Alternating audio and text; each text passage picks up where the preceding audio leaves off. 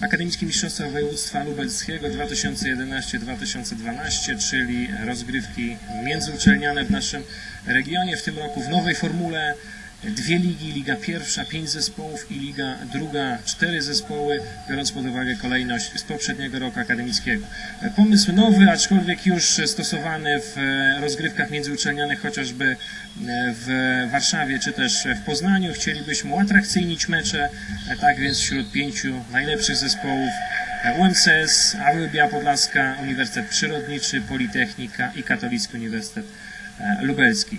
14 listopada początek rozgrywek. W semestrze jesiennym chcielibyśmy rozegrać pierwszą rundę rozgrywek i w semestrze drugim e, runda druga. Najlepsze zespoły musimy wyłonić do połowy kwietnia, gdyż e, cztery zespoły z naszego regionu będą startowały w półfinale Akademickich Mistrzostw Polski, który zostanie rozegrany w Krakowie.